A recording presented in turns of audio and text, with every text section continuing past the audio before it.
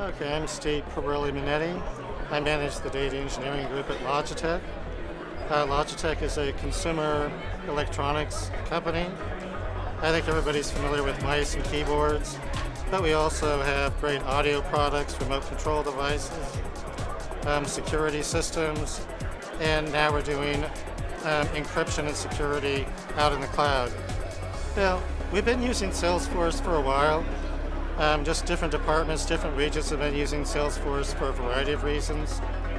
And about four years ago, we had a project which didn't make sense. A vendor came in, wanted three or four million dollars to build a trade uh, trade promotion management system, and it just wasn't working.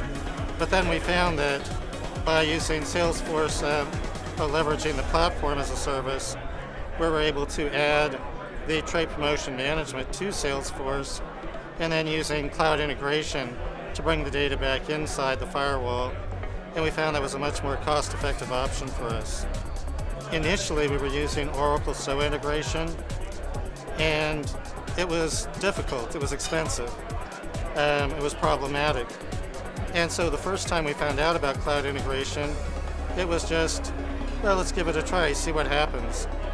And the initial POC, from the time we downloaded it, it took 15 minutes before we had a successful POC, where we were just able to get it work the first time we tried it. And that's what pretty much sold me on the cloud integration. Um, just we had so many issues trying to work with the SOA integration. So this was something that was easy, that worked. And one of the big benefits I don't hear anybody talking about, but from an IT perspective, when we buy software, we have to depreciate it over three to five years. By being able to go with the cloud software, I'm not locked in. I don't have this three years of depreciation that locks me in.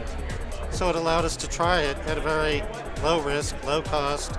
It worked, so we kept doing it.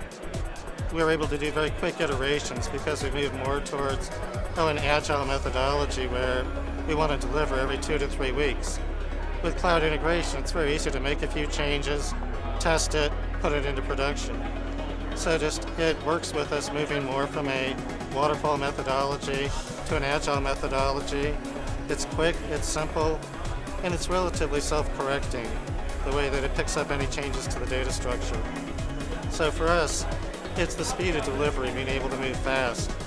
That's the key driver for my management, for my company.